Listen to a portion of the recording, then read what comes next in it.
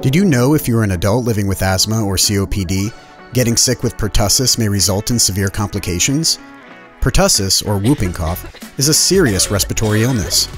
Vaccination is the best way to help protect against pertussis.